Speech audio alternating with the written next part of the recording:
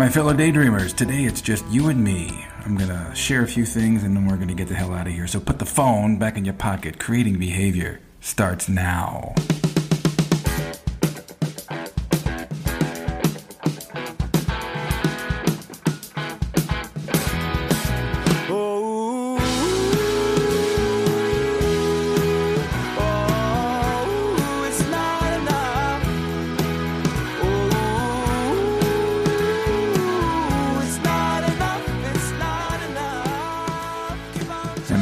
Fellow daydreamers. We are in what I believe to be the longest fucking month of the year. It feels that way. I don't know about you guys, but August sometimes feels like a, a seven week month.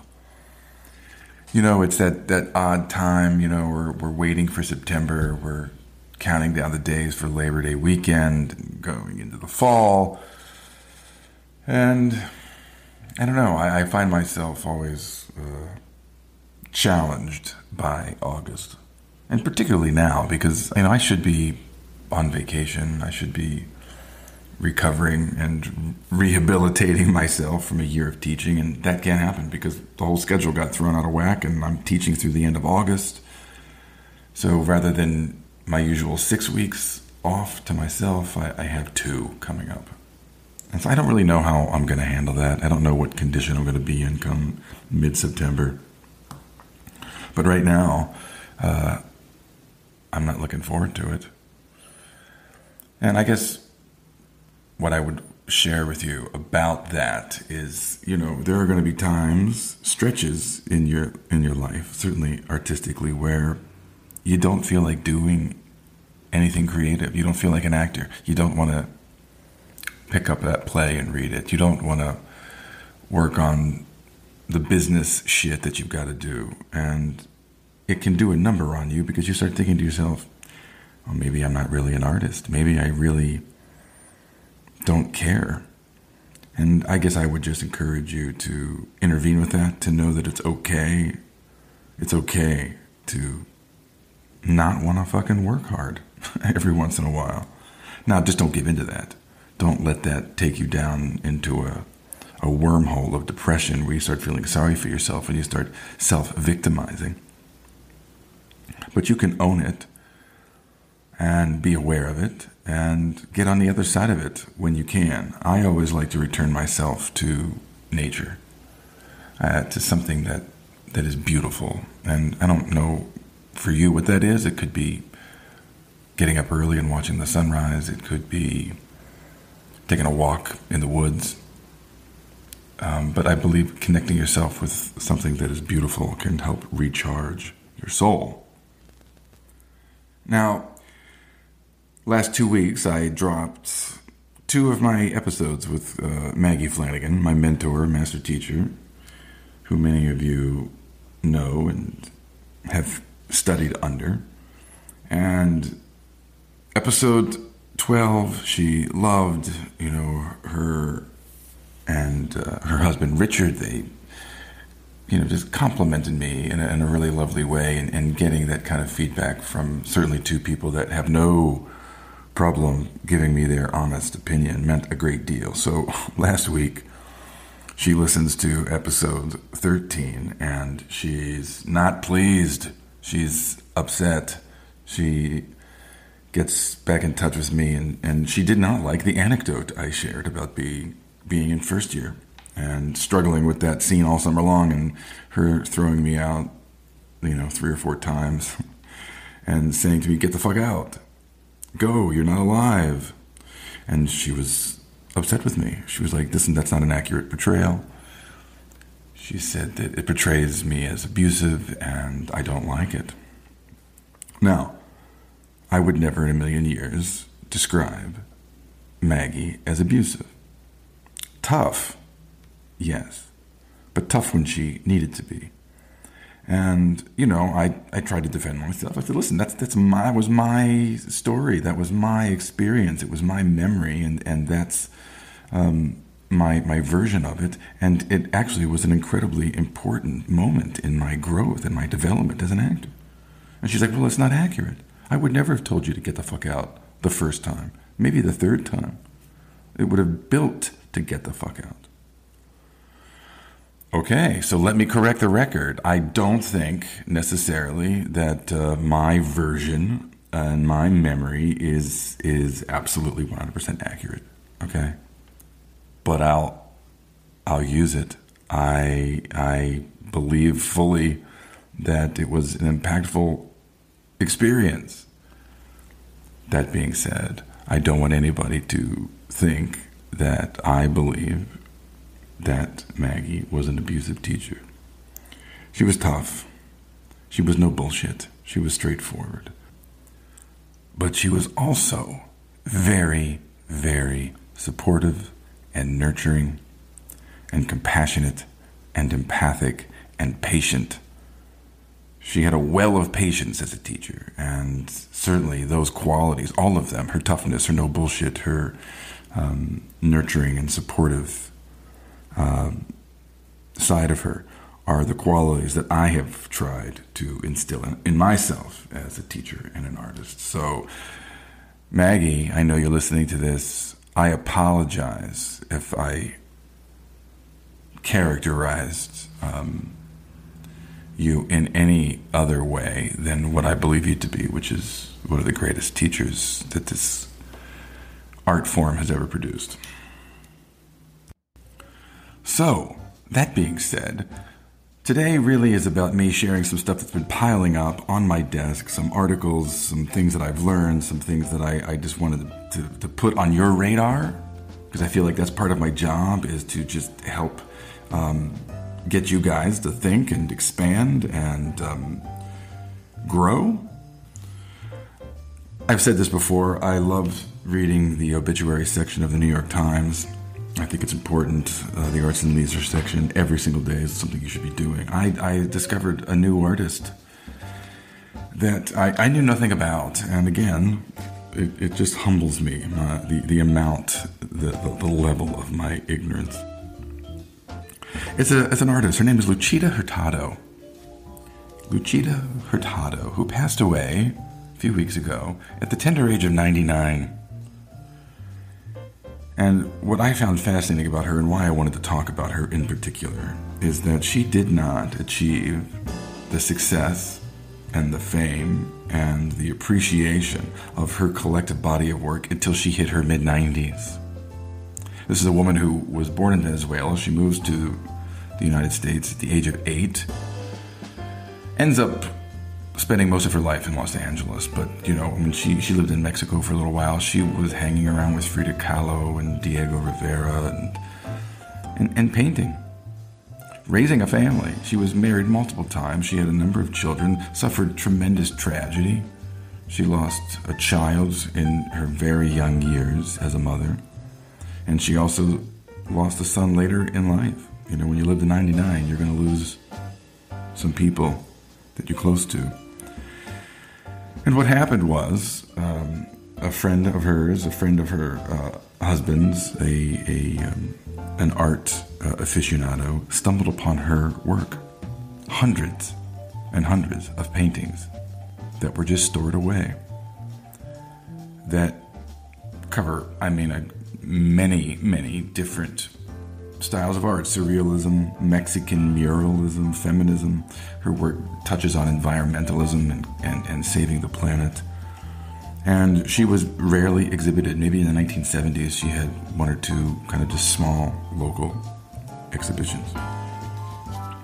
She was inspired by cave paintings. She was inspired by the southwestern United States and had a second home in Taos. And a lot of her art has a southwestern um, Native American, um, ancestral kind of feel to it. Um, a lot of self portraits, a lot of images of, of, of her body or of the human form kind of mixed in to the earth.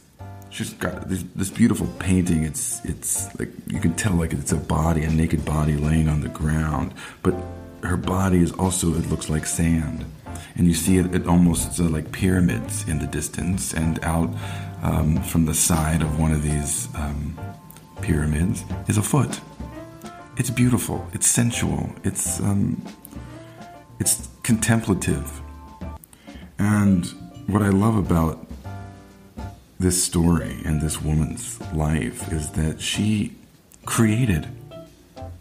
She wasn't um, looking for fame. She wasn't looking for celebrity. She wasn't doing it for anything other than just the, the, the, the joy of creating.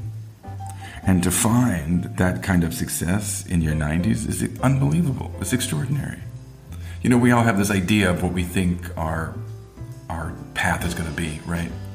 Whether you move to New York, you move to Los Angeles, you get out of school, maybe you've you've trained, you know, maybe you just got out of your uh, undergrad, you got your BFA or your MFA, or you finished a program like mine. And you have this idea of what you think your career is going to be, and it doesn't work out that way. That I will promise you. It's going to go the way it goes. You know, if you would have told me at the age of, you know, 30 that I was going to be an acting teacher, I would have told you you were fucking crazy. I was an actor. It's the only thing I ever wanted to be. And really, it wasn't until I hit 35 that the whole course of my life changed and I realized my life's purpose and, you know, everything goes from there. But I would never have thought that this is what I would be doing with my life. And so when I read something like this, when I discover someone like Luchita Hurtado and her perseverance and her just commitment to the work and how that kind of, I guess, in terms of success, paid off at such a, a, a, a tail end of her life, I just find it very inspiring.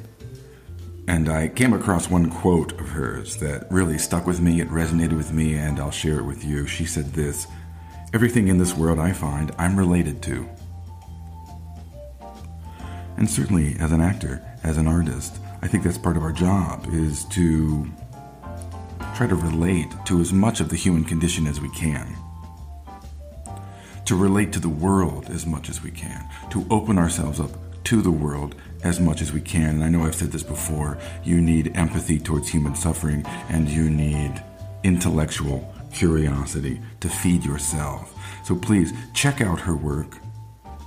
It's beautiful learn something about her and add this artist to your um, reservoir of knowledge.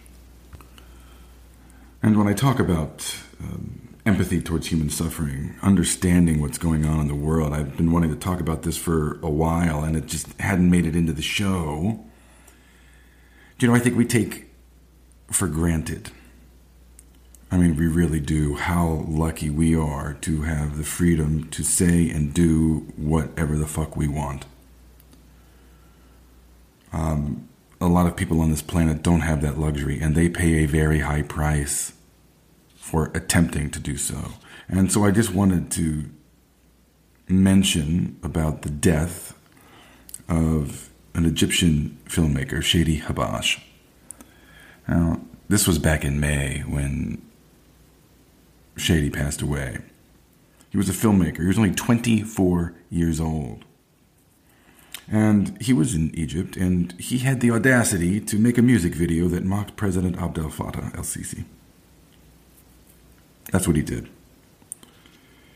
He mocked him in this particular video as a, a date, the fruit. Right?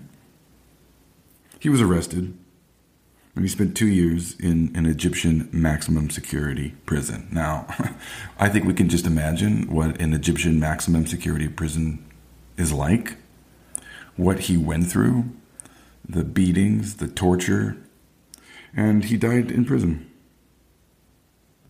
Held in that prison for three years without a trial, without any attempt to be able to defend himself, just scooped up off the street and basically slow murdered for expressing himself artistically. And this is the kind of stuff that you need to be um, discovering, feeding yourself because it's an injustice, and that kind of injustice can can bring you to life. It can give you something to call upon when you're trying to relate to something.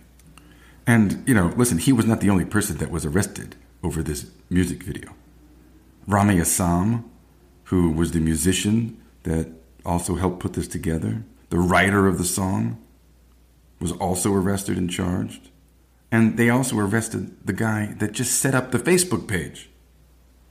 I mean, they they will crush and squelch any kind of artistic expression. And so, you know, I just wanted you to uh, learn about Shadi Habash. Watch that video and look what cost him his life.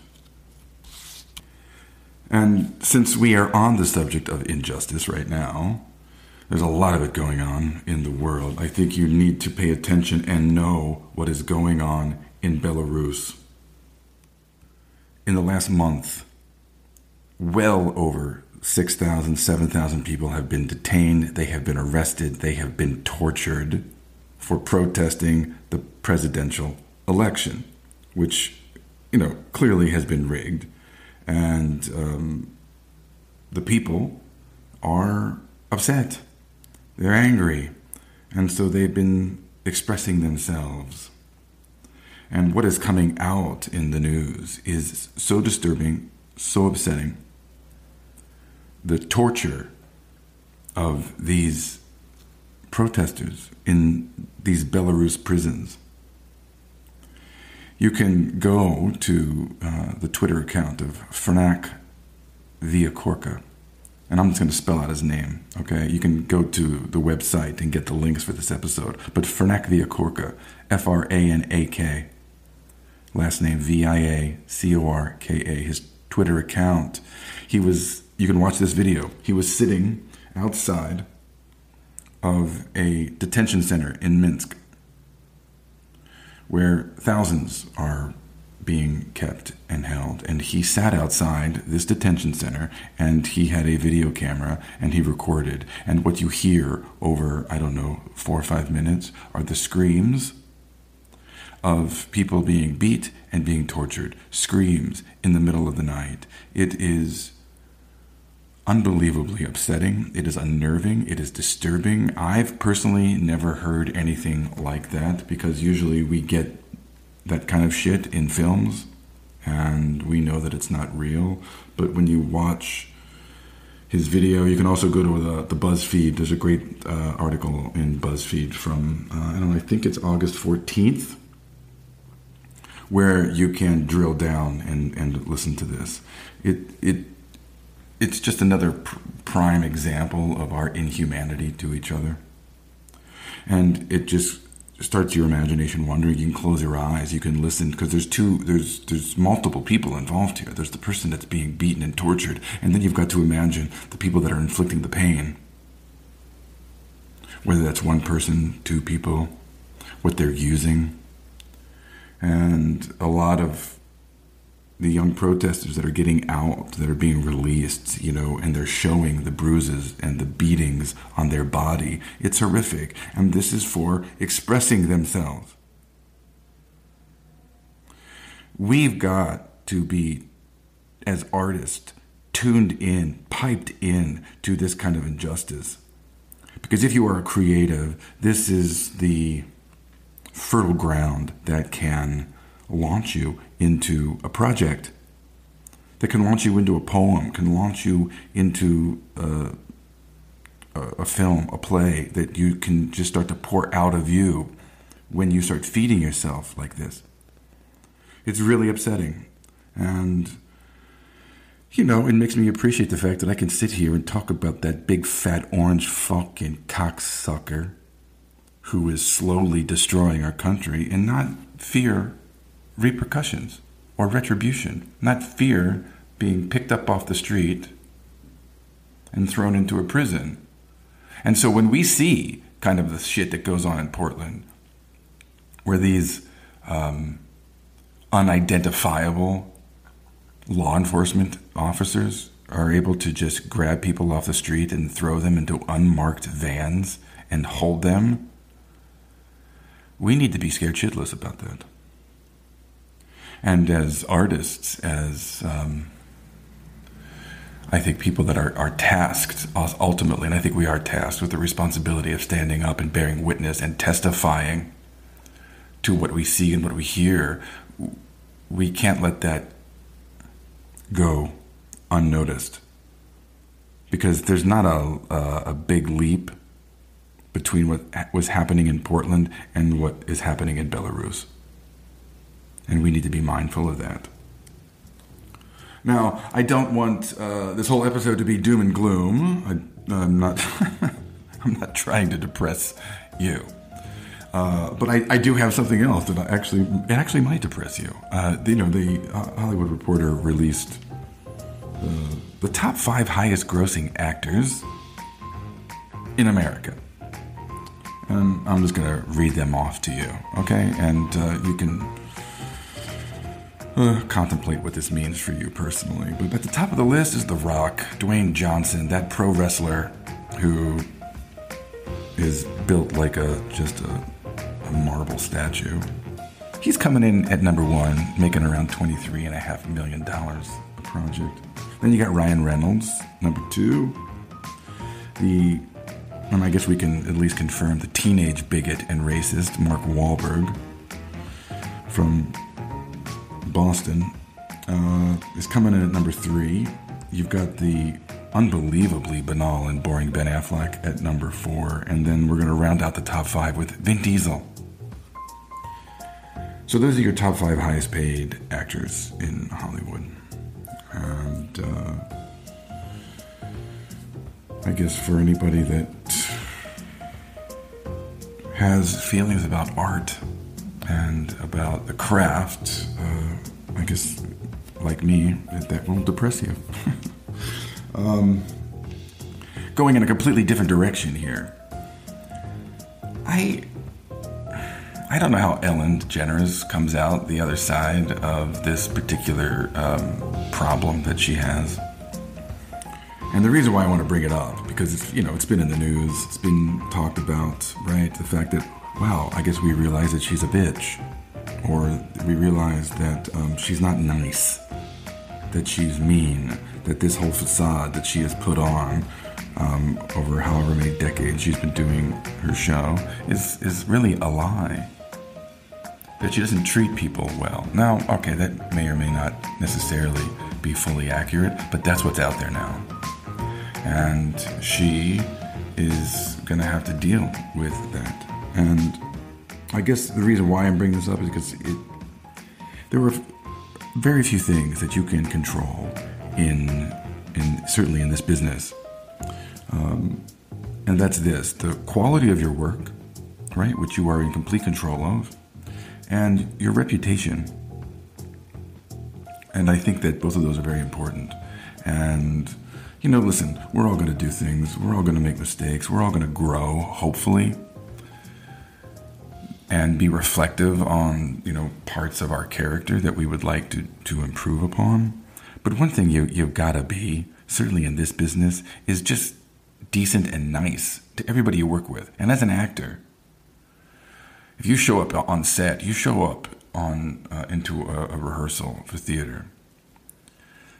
Be nice. Be nice to everybody. Be nice to the crew. Have a, an appreciation for how hard their job is. For the boom operator who's like, you know, holding this boom mic over his, his or her head for, you know, 15 hours over the course of the day. The AD or the PAs that are just getting yelled at and ordered around all day. The people that are, you know, moving lights and, you know, everything that's involved in putting a piece of, of art together. Be nice to people. It's a collaborative art. And people talk. And you can get a really bad reputation really quick. Now, you know, it's Ellen's show. You know, she's one on the call sheet. Nothing gets done without her. So she probably uh, can get away with uh, treating people the way she wanted to. But at some point, that is going to come back to haunt you. So if I could just give you some advice, really be nice, be decent, be considerate, and don't get caught gossiping it's it's an insidious human characteristic. Of course, we do it. It's how we we learn about people. It's how we understand um, our our our world in a, in a, in a micro level. But it's in, it's it's not good. And when you gossip, it gets back to the other person, and you want to try to just eliminate as many uncomfortable problems for yourself as a professional. So just take that for what it's worth. And now let me move on to something that just, I don't know, it, it made me laugh and it made me appreciate the importance of ideas. And, you know, I'm always talking to my students, I know I've mentioned it here on this show, that if you're going to be really good as an artist, if you're going to be a good actor, you have to have ideas. You have to have them, and you have to have them the courage to to do something with it, to actually implement the idea. And I think that's really what separates the successful creator from from the non-successful, right? Because we all have ideas. How many of you have been sitting around going, "Oh, I've got this great idea. I've got this idea for a book. I've got this idea for a play. I've got this idea for a script. I've got this idea for a show," and you don't do anything about it. The successful people who have ideas actually do something with them. And there's this new book that's out. It's it's actually um, uh, been written about here. It's quite popular now. It's called Men to Avoid in Art and Life by the Detroit based writer Nicole Tersigni. T R S I G N I. Nicole Tersigni. And basically, what this is is a book where she has taken 18th, 17th century art and she has captioned it in a way that catches um, the stupidity of men and the misogyny that women have been subjected to. And this idea of hers sprouted from the fact that she was, you know, scrolling through Twitter one day and she saw this guy explaining to a woman her own joke back to her. And she could relate to this. She said, you know, that this had happened to her many times in life, and I'm sure there, every woman that's listening to this can appreciate this. So she Googles women surrounded by men. Because sometimes that's what women feel like, she said, when you're online. And so she stumbles upon this 17th century oil painting. And in this painting, it's a, it's a, it's a painting of a woman who's bearing one of her breasts in the middle of uh, just kind of this, this group, this scrum of bald men.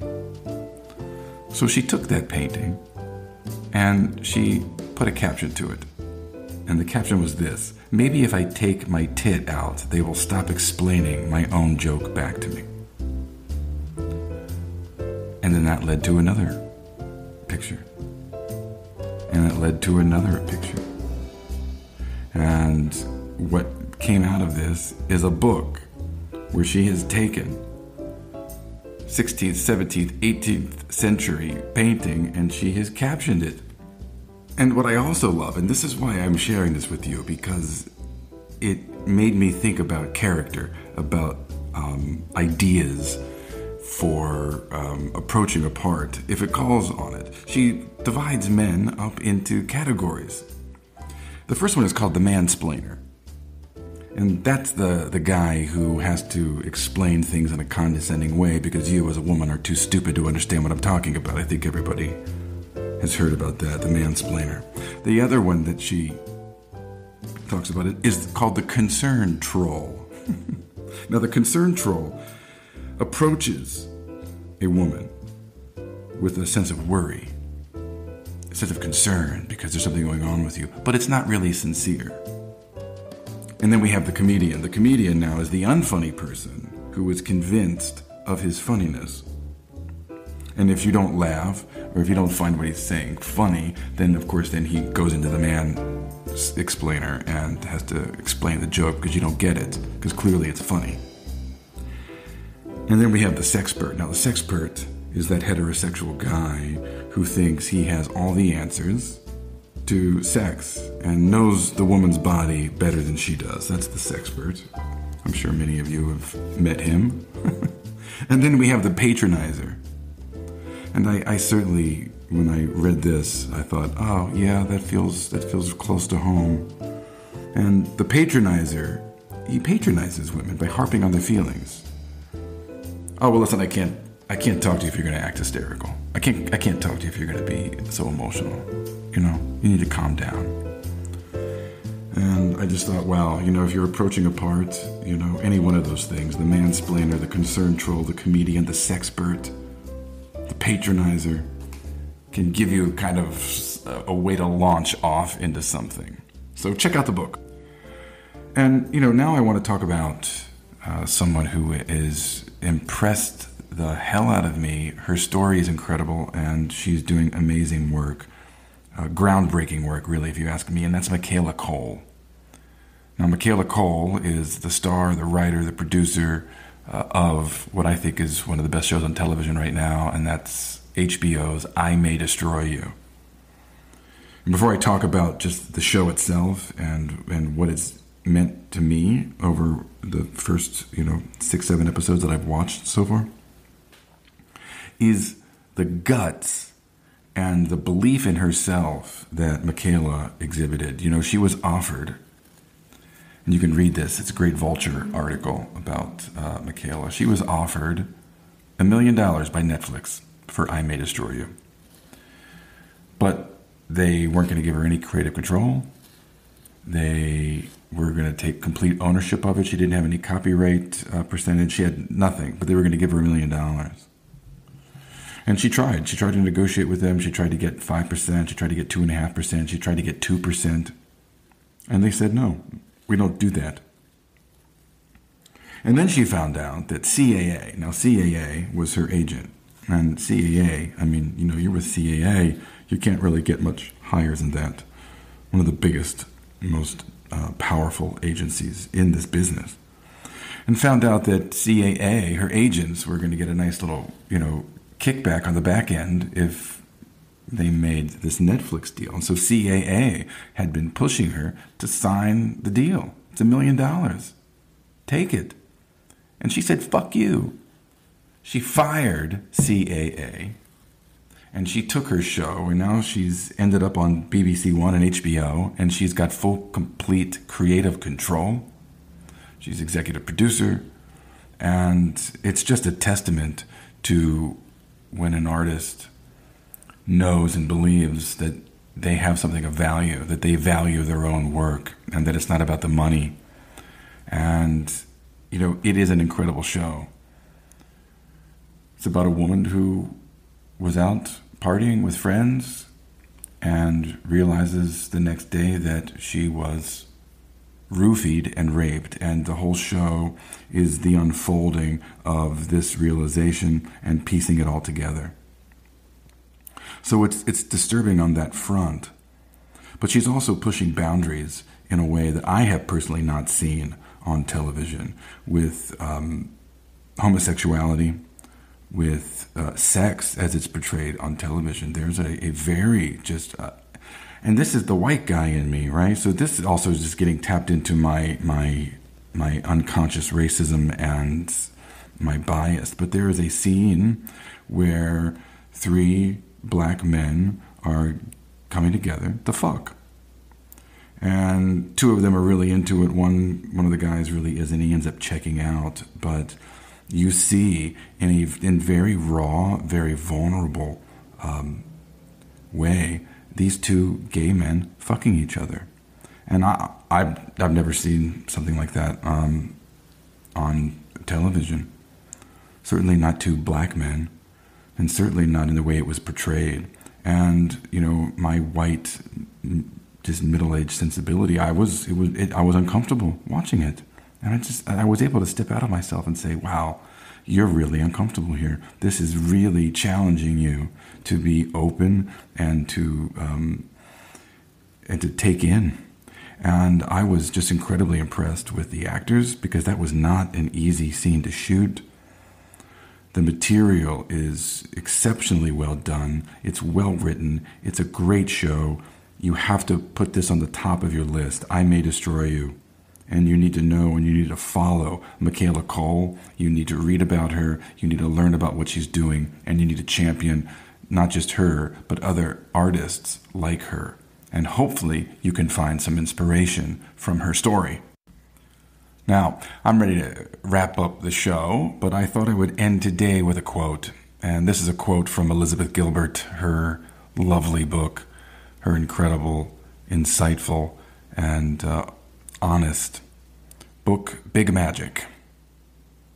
And I've said many times that I think you need to disabuse yourself if you hold on to this cliche of being a suffering artist. I don't think it's helpful. but it's romanticized in our culture. And I'm going to read a little bit from this book and what Elizabeth Gilbert has to say. In contemporary Western civilization, the most common creative contract still seems to be one of suffering. This is the contract that says, I shall destroy myself and everyone around me in an effort to bring forth my inspiration, and my martyrdom shall be the badge of my creative legitimacy. The tormented artist. You will find no shortage of role models. To honor their example, follow these fundamental rules. Drink as much as you possibly can. Sabotage all of your relationships. Wrestle so vehemently against yourself that you come up bloodied every time. Express constant dissatisfaction with your work. Jealously compete against your peers. Begrudge anybody else's victories. Proclaim yourself cursed, not blessed, by your talents. Attach your sense of self worth to external rewards. Be arrogant when you are successful and self pitying when you fail. Honor darkness above light, die young, blame creativity for having killed you. End quote. Well, my fellow daydreamers, thank you for sticking around, keeping that phone in your pocket, in your purse, in your fanny pack. Follow the show, subscribe to it, leave it a review, particularly on iTunes. It would help a great deal. You can go to my website, creatingbehaviorpodcast.com. You can leave me a message. I use SpeakPipe. All you got to do is press a button. You can follow Creating Behavior on Instagram at Creating Behavior. You can follow the Maggie Flanigan Studio at Maggie Flanigan Studio. Lawrence Trailer, thank you for the music as always. Well, my friends, it's August. It's a long month. You can be lazy, that's alright, but at some point get your ass up off the fucking couch, playful out with yourself, and don't ever settle for your second best. My name is Charlie Sandlan. Peace.